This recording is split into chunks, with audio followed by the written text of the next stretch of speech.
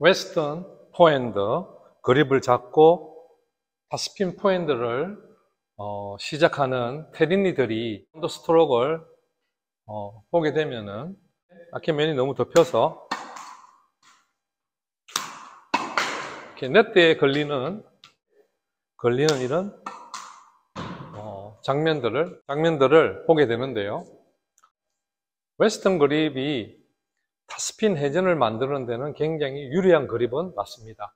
음, 볼의 윗부분을 타격해서 위로 올라가는 스윙으로 스핀을 만드는 유리한 그립입니다.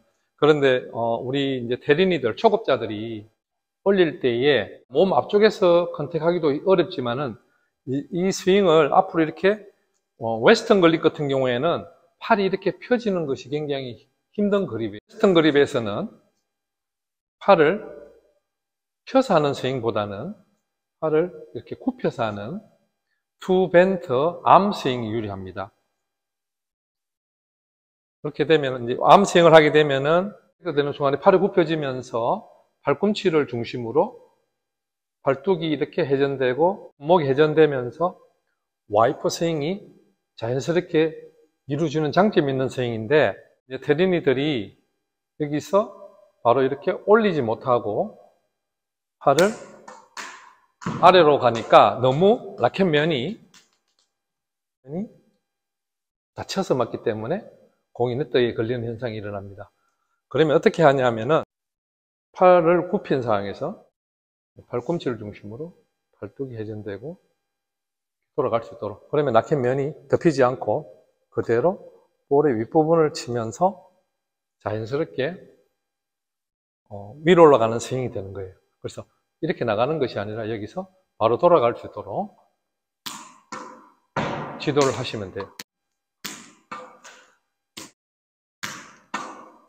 웨스턴 그립을 잡으면은 팔을 이렇게 펴서 앞으로 이렇게 나가게 되면은 너무 많이 덮여서 이렇게 네트에 걸립니다.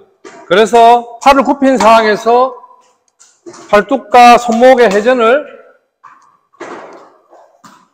하는 와이퍼 스윙을 해주셔야 됩니다.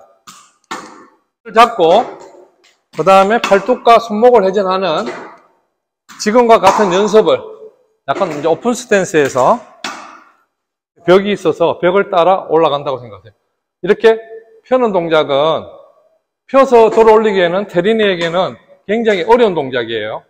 어려운 동작이기 때문에 여기서 바로 돌린다라고 로테이션 한다라고 생각하시면 돼요.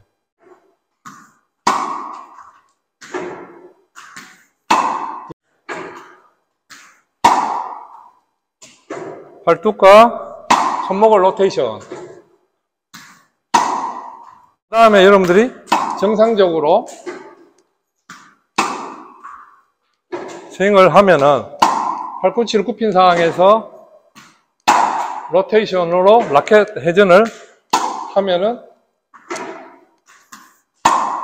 어, 네트에 걸리던 공이 탑스핀 회전이 걸리면서 네트 높게 넘어가는 어, 웨스턴 그립의 타스핀 포핸드를 구사할 수 있습니다.